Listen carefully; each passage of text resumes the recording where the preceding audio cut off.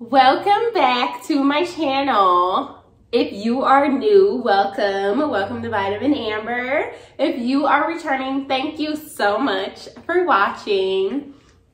So today we are going to talk juicers. So a question that I have been getting a lot is what kind of juicer I would recommend. Um, so a quick answer to that question is go do your research and find the right juicer for you. Now, how to find the right juicer, that I can help you with, okay? So, you done? Know what you are looking for. If you are a beginner and you are on a budget and you don't know if you're gonna be juicing once a week, once a month, if you just want to try it and then this might not be for you and then you might just toss it to the side or give it to the Goodwill, definitely do not spend an obnoxious amount of money on a juicer. Honestly, for your first juicer, I think that a $100 is probably a good price. Like there are so many juicers on the market that you can get for a decent amount of money that will do the exact same thing as the next juicer or the juicer that may cost $3.99. So definitely try an inexpensive version of what you are looking for first. Now, we're gonna start with types of juicers. So that is one thing that I think is important to know before you purchase a juicer. What type of juicer are you looking for? So there are three types of juicers that we're gonna talk about. One is a centrifugal juicer. One is a masticating juicer and one is a cold hydraulic press juicer. So centrifugal juicers, there are so many brands, so many on the market. Literally, you can go to Target, Kohl's, Walmart, Amazon, and you can find a centrifugal juicer. They are very inexpensive I think like Bed Bath and Beyond has a sale going on right now where they are like 50% off. Now, a key, a couple key points. Centrifugal juicers juice produce and fruits by um, a by using a like a, a blade. Let's just say for layman's term, the blade moves in a centrifugal force at a very high rate. In other words, it chops up the juice really fast, okay? It chops up the produce and the fruits really fast and it extracts the juice, okay? So with that being said, because it's going at such a high RPM, rate per minute, you're extracting juice literally probably in less than a minute. Depending on what you're, what you're juicing and how much you're juicing, less than a minute. With the high rate force and um, the heat that it produces from moving that fast, you can oxidize your juice a lot quicker and you break down the nutrients at a quicker rate. Now, does that really matter? It depends. It depends on what you're looking for. Are you going to juice and drink the juice right away? If so, then it probably doesn't matter at all. So just really quick to run through an overview of centrifugal juicers. They are very accessible they juice very quickly.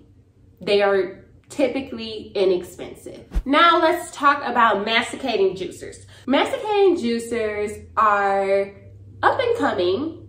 There are a lot more brands coming out with masticating juicers.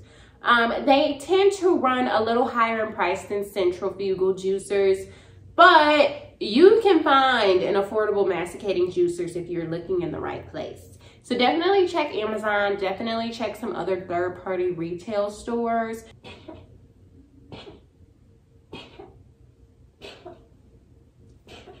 Are you done?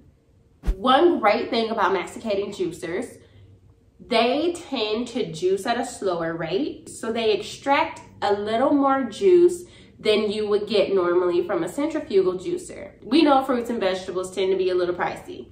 So if you want to extract the most out of your fruits and vegetables, masticating juicers are probably a better option than centrifugal juicers. Another thing that is great about masticating juicers they break the nutrients in the juice break down at a slower rate and they don't oxidize as quickly as centrifugal juicers. A masticating juicer is good for those who want a bulk juice or they're good for people who want a higher yield of juice. So if I'm comparing the two, if I'm comparing a centrifugal juicer and a masticating juicer, the only difference is the rate that the nutrients break down and the amount of juice that you extract from your fruits and vegetables. And then our last juicer that we're gonna, uh, juicer type that we're gonna talk about is the cold press hydraulic juicer. These are for the professionals, okay? This juicer, it's the big gun. They literally range like the cheapest I've seen is like $1,200 and the most expensive one I've seen is like four grand. And I'm sure there are some that are higher than that in price. No pulp because it literally just takes the produce or takes the fruit and it presses it. It presses it with the hydraulic system to extract all the juice. No pulp, no foam. This is supposed to have the highest juicing yield, the highest nutrition or the highest amount of nutrients. It's the bomb, okay? It's a really good investment for those who are committed to juicing, for those who want all of the nutrients and benefits from juicing. It's, it's, a, good, it's a good investment. When looking for a juicer, it is a very personal experience. Figure out what it is you're looking for. Figure out what is important to you. Just some quick things to think about is size, um, so for me, I live in an apartment. I don't have that much counter space. I want a juicer that is smaller, horizontal, that does not take up too much space. So think about stuff like that. Think about the size of the chute. So the part that you actually put the, the fruits and vegetables in. If you don't want to do prep work, if you don't want to cut up your fruits and vegetables, look for a juicer that have a that has a larger chute.